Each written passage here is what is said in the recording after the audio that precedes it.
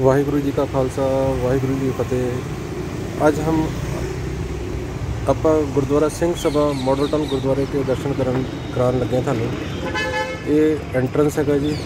Entrance ਕਰਨ ਦੇ ਬਾਅਦ ਹੀ ਸੱਜੇ ਹੱਥ ਅਗਰ ਤੁਸੀਂ ਮੁੜੋਗੇ ਤਾਂ ਜੋੜਾ ਕਰ ਨਜ਼ਰ ਆਉਂਦਾ ਹੈਗਾ। ਤੁਸੀਂ ਆਪਣੇ ਜੋੜੇ ਇੱਥੇ ਉਤਾਰ ਸਕਦੇ ਹੋ, ਬਾਹਰ ਵੀ ਰੱਖ ਸਕਦੇ ਹੋ, ਤਾਂ ਅੰਦਰ ਕਮਰੇ ਵੀ ਰੱਖੇ ਹੋਏ ਆ। ਖੁੱਲਾ ਬਰਾਂਡਾ ਹੈਗਾ ਸਾਹਮਣੇ।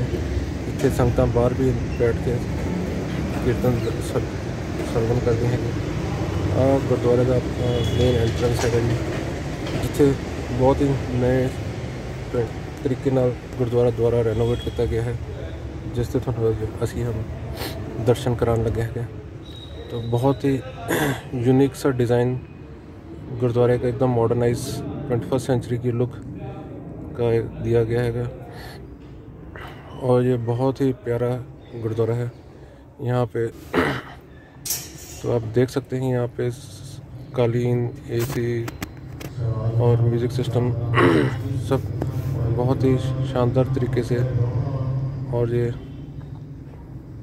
कलाकारी भी यहाँ पे जितना भी पत्थर का काम किया गया, वो भी और इंटीरियर डिज़ाइनिंग बहुत ही सुंदर की गई है।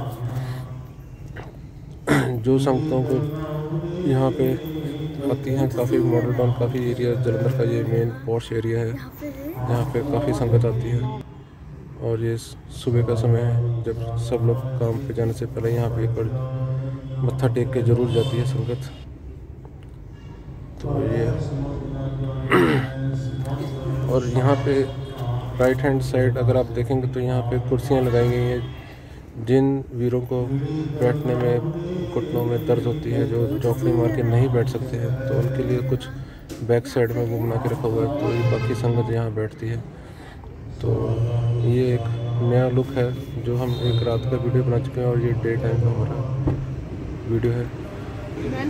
और यहाँ पे निशान साहब भी बनाया गया है, बहुत ही बड़ा है। तो ये हमारा मॉडल टाउन का निशान साहब काफ़ी ऊँचा पे बना हुआ है और काफ़ी सुंदर और इसके साथ ही हमारा ये वीडियो ख़त्म होता है। अगर आपको ये पसंद है तो लाइक और सब्सक्राइब करते रहिए। तो भी लाइक और सब्सक्राइब ज़रूर करके जाए। Thanks for watching.